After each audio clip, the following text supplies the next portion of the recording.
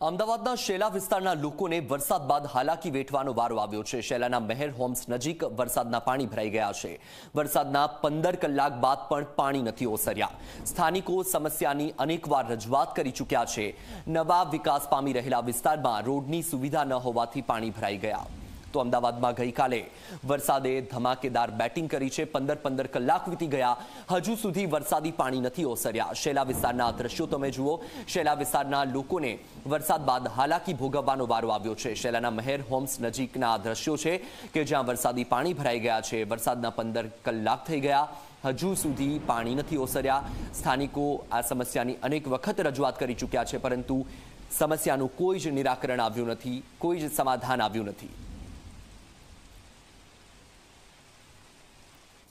અમદાવાદમાં ગઈકાલે વરસાદ પડ્યો. સાર્વત્રિક વરસાદ રહ્યો જેના કારણે ઠેર ઠેર પાણી ભરાયા. પરંતુ ઘણા એવા વિસ્તારો છે કે જ્યાં પંદરથી સોળ કલાક બાદ પણ વરસાદી પાણીનો નિકાલ નથી થયો.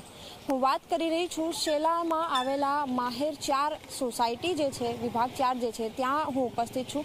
અને અહીંના દ્રશ્યો આપ જુઓ. ન તો અહીં રોડની સુવિધા છે કે ન વરસાદી પાણીના નિકાલની કોઈ વ્યવસ્થા. પરિણામ એ આવી રહ્યું છે કે વાહન ચાલકો હોય અથવા તો રાહદારીઓ હોય, તેમને ભારે મુશ્કેલીનો સામનો પણ કરવો પડી રહ્યો છે. અગાઉ પણ જે સ્થાનિકો છે, એમણે પ્રશાસનમાં આ મામલે રજૂઆત કરી હતી, પરંતુ તેમ છતાં યોગ્ય નિકાલ તાત્કાલિક ધોરણે જે આવવો જોઈએ એ નથી આવ્યો. અને હવે જે સ્થાનિકો છે, એમની સાથે પણ આપણે વાતચીત કરીશું. એમને પૂછીશું કયા પ્રકારની સમસ્યા તેમને થાય છે. આપ જણાવો, આ રોડ ચોમાસામાં કેવા પ્રકારની પરિસ્થિતિ હોય છે? હાલવામાં તકલીફ પડે છે. ખાડા બહુ છે અને અને ડાંબર નાખતા નથી. હાવ બેકાર છે. હાલ બિલકુલ. વરસાદી પાણીને પંદરથી સોળ કલાક થયા વરસાદ પત્યારે. હજી બી પાણી ભરાયેલા. દર વખતે આ જ પરિસ્થિતિ હોય છે? દર વખતે આવું જ હોય છે. આપને લાગે છે અમદાવાદમાંથી જે પ્રશાસન છે એ કોઈ કામગીરી કરતા હોય? એવું કંઈ લાગતું જ નથી. બિલકુલ. પરિસ્થિતિ ક્યાંક, કારણ કે પ્રાથમિક સુવિધા ઊભી હોવી જોઈએ, ઊભી કરવી જોઈએ, પરંતુ એ ક્યાંક ઊભી નથી કરવામાં આવતી, જેના કારણે સામાન્ય લોકો કે જે ખૂબ સ્વેચ્છાએ ટેક્સ ભરતા હોય છે, પરંતુ આ ટેક્સના પૈસા ક્યાં જાય છે અને આયોજન જે હોય છે માત્ર કાગળ ઉપર રહી જાય છે, જેના કારણે ક્યાંક જે પબ્લિક છે, સામાન્ય નાગરિકો છે, તેમને હાલાકી ભોગવવાનો વારો આવે છે. કેમેરામેન તુષાર શાહ સાથે સપના શર્મા, ઝી ચોવીસ કલાક, અમદાવાદ.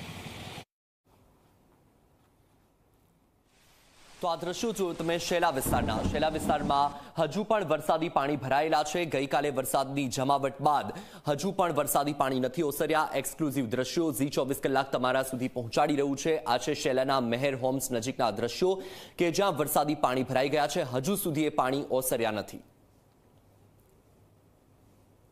ગઈકાલે શહેરમાં સાંજ સુધી વરસાદ રહ્યો અને વરસાદ બાદ શેલાની મોટા ભાગની જે પરિસ્થિતિ છે એનો અંદાજ હાલ આપ લગાવી શકો છો કયા પ્રકારની સ્થિતિ છે.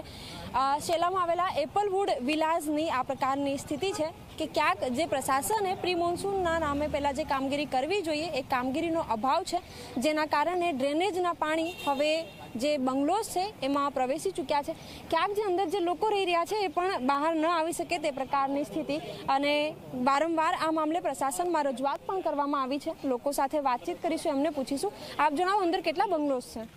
અંદર અત્યારે લગભગ two seventy six plus bungalows છે.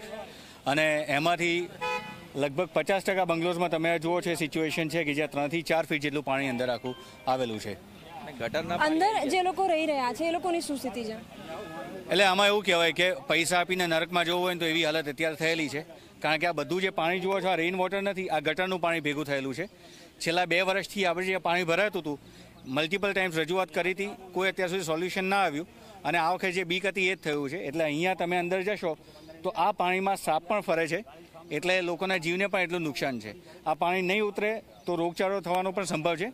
અને એના કારણે થઈને ઓવરઓલ જાનને નુકસાન થવાનું છે. કે કઈ જગ્યાએ આ માટેની રજૂઆત કરી હતી ચોમાસા પહેલા? ચોમાસા પહેલાં બેન મલ્ટિપલ ટાઈમ્સ રજૂઆત થયેલી છે. સીએમઓમાં મૂકેલું હતું એની ઓડામાં મૂકેલું છે એએમસીમાં મૂકેલું છે અહીંયા જેટલી પણ ઓથોરિટીઝ છે એ બધામાં મૂકેલું છે. પણ ચોમાસા પહેલાં ખાલી જે પણ આપ્યું છે એ ખાલી આશ્વાસન આપ્યું હતું કે આ થઈ જશે પણ કંઈ થયું નથી. અત્યારે રિઝલ્ટ તમારી સામે છે.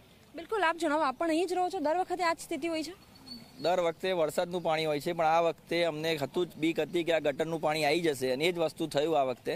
ઓલરેડી જે અમારા બિલ્ડર છે એમને બી આ સોસાયટી પહેલેથી જ આ નીચી બનાવેલી છે. એટલે દર વર્ષે અમારે પાણી તો આટલું ભરાય જ છે. અને એનો નિકાલ અમારે એક દિવસ, બે દિવસ સુધી અમારું પાણી ભરાયેલું જ રહે છે. પણ અમને એમને બી રજૂઆત કરી, અમે કે આ ગટરનું પાણી અંદર આવી જશે, તમે કંઈક આનું કરો, સોલ્યુશન અમને આપો. પણ આવી જ ગયું આ વખતે. આજે કોઈ છોકરાઓ સ્કૂલે પણ નથી ગયા. હાલત એટલી ખરાબ છે કે અમુક લોકોના ઘરના બાથરૂમોમાંથી પાણી બહાર આવવાનું ચાલુ થઈ ગયું છે. બિલકુલ ફરીવાર અમારા જે સહયોગી છે, એમને કહીશ કે દ્રશ્યો બતાવે. આપ જુઓ કે કઈ રીતની જે પરિસ્થિતિ છે અહીં, ક્યાંક અમદાવાદ કે જે મેટ્રો સિટી કહેવાય, મેગા સિટી કહેવાય, એની આ પ્રકારની સ્થિતિ છે કે એક સામાન્ય વરસાદ, હજી તો ચોમાસાની સ્થિતિ આખી નાખી બેસી પણ નથી શહેરમાં. ચોમાસું યોગ્ય રીતે શરૂ પણ નથી થયું, પહેલો જ વરસાદ કહી શકાય. અને એક જ વરસાદમાં આ પ્રકારની સ્થિતિ શહેરમાં જોવા મળી રહી છે કે જ્યાં અલગ અલગ જે સોસાયટી છે, એની સ્થિતિ ક્યાંક આ પ્રકારની છે કે જ્યાં પ્રી મોન્સૂનની કામગીરી જો કદાચ પ્રશાસને કરી હોય તો એ માત્ર કાગળો સુધી જ સીમિત રહી ગઈ છે. કામગીરી થઈ નથી, જેના કારણે હવે જે સ્થાનિકો છે, જે રહીશો છે, એ મુશ્કેલીમાં મુકાયા છે. ત્રણસોથી પણ વધારે અંદર બંગલોઝ છે, પરંતુ હવે ક્યાંક પરિસ્થિતિ એ પ્રકારે છે કે લોકો સોસાયટી પોતાના ઘરની બહાર સુધી પણ નથી આવી શકતા અને પ્રાથમિક સુવિધા જે ઊભી થવી જોઈએ એના અભાવ અને એ જ અભાવના કારણે અત્યારે અહીંના જે રહીશો છે મુશ્કેલીમાં મુકાઈ ગયા છે. કેમેરામેન તુષાર શાહ સાથે સપના શર્મા જી ચોવીસ કલાક, અમદાવાદ.